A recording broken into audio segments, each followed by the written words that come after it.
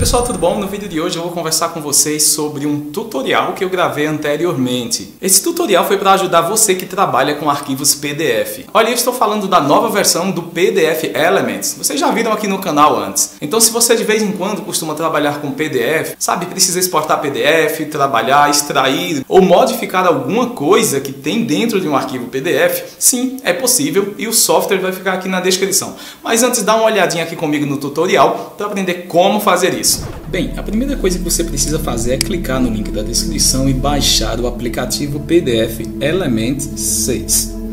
Ele vai baixar para o seu computador, você vai instalar e assim que ele for instalado você pode optar por comprar a versão ou iniciar a versão de testes. Ele é muito fácil de usar e eu vou mostrar a vocês nesse vídeo tutorial algumas funcionalidades do PDF Element versão 6. Olha, assim que ele instala, ele vai abrir aqui essa plataforma onde você tem de uma forma mais fluida todas as funcionalidades. Assim que você passar dessa tela, você pode escolher entre registrar ou não o programa. Eu vou clicar aqui em registrar porque eu tenho a licença dele, tá? Basta você adicionar o seu endereço de e-mail registrado e o código de ativação e clicar em OK. Em seguida você vai receber essa mensagem, olha, registro bem sucedido, você pode fechar e ir direto para as funcionalidades.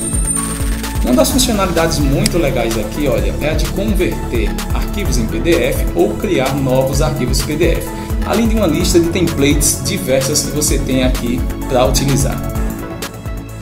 Uma das novidades é a opção de criar formulários preenchíveis facilmente.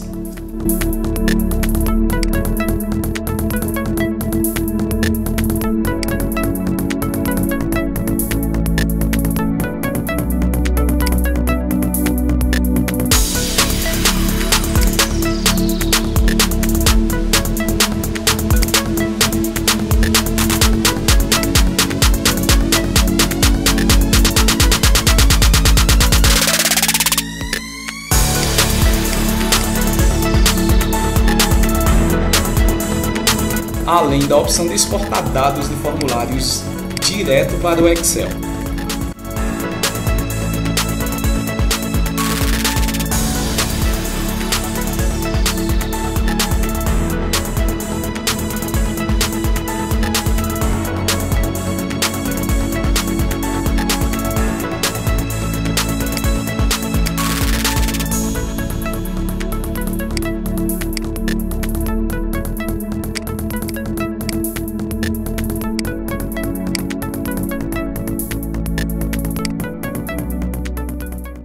Você também tem funcionalidades de adição de texto muito simples de fazer.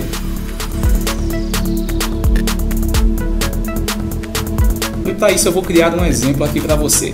Eu vou abrir essa imagem converter ela em PDF. Vou clicar em concluir. Você pode executar aqui o OCR, fazer download do plugin para poder fazer o escaneamento de imagens. Em seguida você pode utilizar aqui todas as ferramentas disponíveis como inserção de notas, ou formatação de textos direto em seus arquivos PDF, como eu vou fazer aqui nesse exemplo. Você pode clicar aqui em editar e todos os elementos passam a ser clicáveis. E todos os textos podem ser alterados, você pode adicionar texto ou alterar os textos existentes em qualquer arquivo PDF, tá? Essa ferramenta é muito interessante e eu vou mostrar um exemplo melhor aqui para vocês na parte de baixo desse documento. Aqui nessa tela, olha, eu posso inserir algo a mais, utilizar formatação e fazer o que é necessário para deixar o meu PDF pronto. Uma outra função muito interessante é a de combinar arquivos PDF. Eu vou dar outro exemplo para vocês e adicionar alguns arquivos aqui. Eu vou selecionar dois arquivos e vou fazer a combinação deles direto em um único documento. Depois de inserir, basta clicar aqui em avançar e ele vai processar imediatamente e já abrir o arquivo pronto para você.